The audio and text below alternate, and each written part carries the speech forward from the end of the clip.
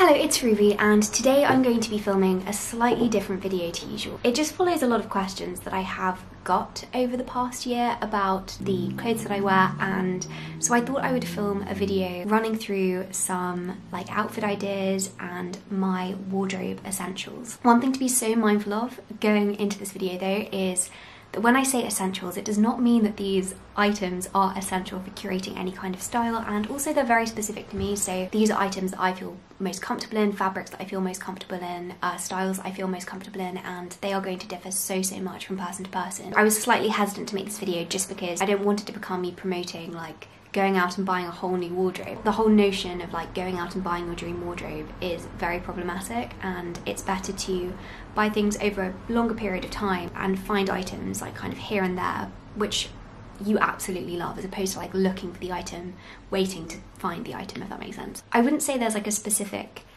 tag word to my style. I'd kind of vaguely call it like dark academia and that is a style that I kind of gravitated towards for a long time, like since I was about 12. I've been really, I've loved like blazers and shirts and ties and things like that. I'll be showing you my favourite items of clothing and then curating a load of outfits using those and giving some outfit ideas, showing what I wear in a week at university, for example. Yes, I hope that you enjoy watching. So let's start with my outfit essentials. They're all basic items which hopefully you will have some form of in your wardrobe already. Okay, so first we're going to go through some top essentials. Turtlenecks are something I wear quite often. They're really warm, great for layering, and I particularly love my navy one. I've also got this camel colour one, which is very good for autumn and goes with the overall colour palette of my wardrobe. Merino wool v-neck jumpers. This is a brown one, which used to be my dad's some kind of knit top with a collar, very good for layering underneath cardigans and jumpers. You could also go for a plain long sleeve shirt. I used to wear my one a lot in sixth form, but I tend to go for the knit one much more often. A plain black long sleeve t shirt, some kind of smart dark coloured blouse. This is good for if you're going out in the evening. A thin merino wool style cardigan in a dark colour again my favourite kind of fabric to wear is merino wool or merino wool style, and this jumper is the same. I love jumpers like this, which are a little bit of a statement. I think a very good staple for your wardrobe is having like one statement collar item because you can pair it with so many different things and it will add a fun flair to whatever you end up wearing. A shirt, which I wear a lot, it's again more of a statement item and a little bit more unique. I like the collar on this one in particular. And this is my favourite favourite top at the moment. It is from Aesthetica London and it's handmade, super sustainable. It's got a very cool sailor collar on the back. I think having some kind of short sleeve blouse is very nice. Not so useful in the winter, but in the summer, very much so. I also have this white boat neck jumper. And then finally, I have this brown knitted cardigan. This is probably my favourite item of clothing in my wardrobe. A neutral, warm knitted cardigan is so, so great for the winter. A dark coloured skirt is very useful. This one I wear probably four times a week. This beige checked skirt, which is more a pencil skirt, and also some dark culotte trousers. These are kind of my trouser staples. If other people have jeans, I have these. I also have these light coloured culotte trousers. These are linen. These definitely do crease very, very easily, but they're a very good staple for the summer. Now on to jackets and dresses. Also a blazer, of course. I love this corduroy one. I got this on eBay eight years ago and it's still in really good condition. I just like having a standard blazer that you can put on top of pretty much anything. Also this jacket, which is tweed and I just love the style of it so much. It's so easy to throw on top of anything. And then finally, just one staple dress I would say is like a black warm dress. So this one comes beneath my knee. It's from Poetry and um, you can just pair it with loads of different things and it's very warm for the colder months. So now on to extras and like accessories, I suppose. So the first thing is my watch. I wear this watch every single day. I've worn it since 2016. It's just very practical. Also my brown Doc Martens. I wear these most days. I just love them so much. They're so comfortable and I love the way they look. Also a neck scarf. I like to use this as a tie. You can use it to add a little flair to any kind of plain top or jumper. A detachable shirt collar as well can do the same thing. If you're going to take one thing away from this video, it's that rain hats are very useful. I wear my one all the time. And then finally, a warm scarf, which is going to keep you warm. Um, I love this massive checked one. So all of the items I've shown you are essentially of the same style and colour palette, which means that you can mix and match items and create outfits without really thinking about it too much. Over the last few years, I've kind of grown to realise what colours I actually enjoy wearing and I love that all of these colours pretty much go together now, so I can layer pretty much anything and it's going to go. A dark turtleneck and a dark skirt is probably my staple outfit. This is the one I go for the most often, and then you can just play around with it a little bit and add other elements. So, for example, I added the corduroy blazer, but you could also add scarves, coats, you could add jumpers, you know, there's so much you can do with it, and it's also a really warm choice. I also love pairing the detachable shirt collar with any of my tops. Thin cardigans in particular are really nice. Again, this looks really smart, but it's less bulky than having a shirt, and it means that when you wear coats and things, for example, it doesn't interfere with the shape so much.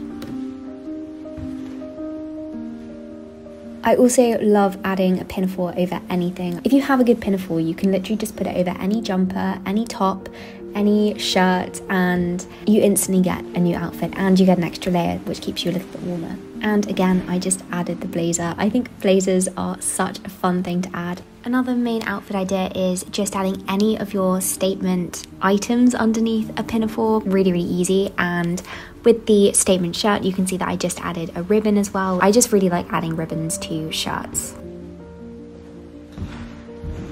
So then you can see I just did the same thing but with the statement jumper.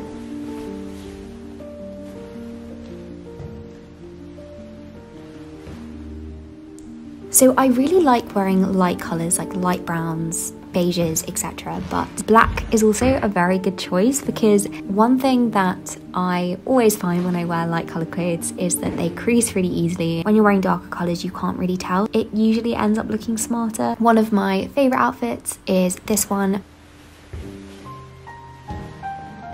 These black trousers honestly go with anything. I'm a big fan of culotte trousers. They're really smart, they're comfortable.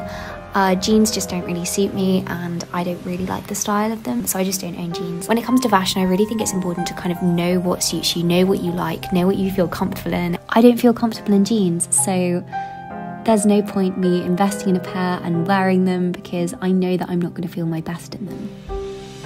I also have these light coloured culotte trousers. These are linen. These definitely do crease very, very easily, but they're a very good staple for the summer. I really like the look of like loose trousers or a long maxi skirt with a long jumper over the top. Kind of like a dropped waist style, I suppose.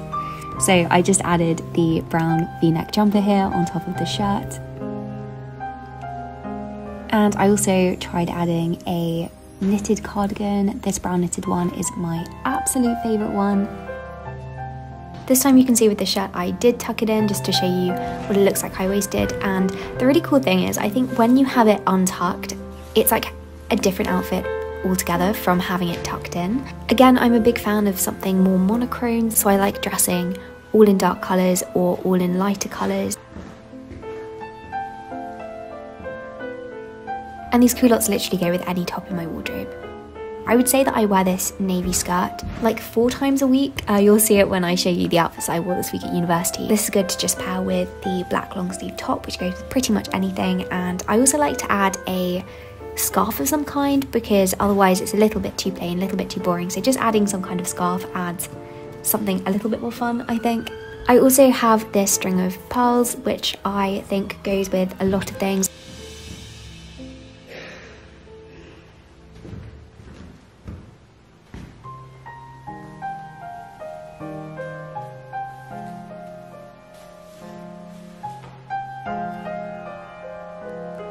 You, and you will have a lot of these items I think in your wardrobe already like a dark coloured top, a light coloured top, something with a collar, a smart evening top, a dark coloured skirt. You know, all of these are quite simple, quote unquote basic items. If you just identify those, identify items in your wardrobe which are of a similar colour palette, you can play around with them so much.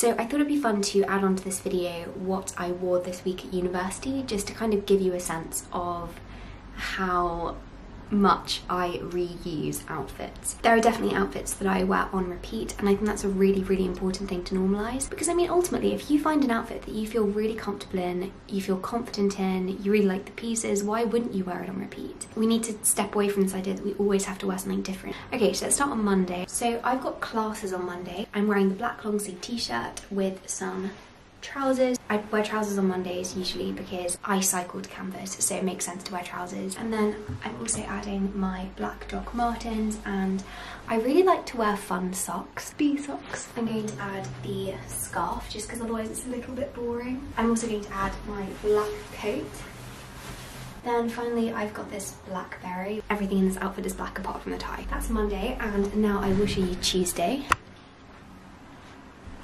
So here is Tuesday's outfit. I have got the Aestethic London um, sailor neck top with my brown v-neck jumper, also my favourite navy skirt. I went into town this day, I just walked into town to meet for a study group and then stayed in town and did some work. But really like even if I'm not doing anything, I like to wear something smart. I like to wear something that I feel comfortable in because I've said this before, but I think when you wear something nice, you are effectively telling yourself that the day is worth something and you're kind of like you're dressing up for yourself. I think we need to normalize dressing up for yourself. Wear things because you feel comfortable in them, wear things because you feel confident in them, as opposed to because it's like the right thing to wear for that occasion. Letting ourselves just wear things are going to make us feel our best. Since I am walking into town, I just added this jacket. I also always wear this scarf, like every single outfit I will wear this week. And then finally I've got my trusty brown Doc Martens.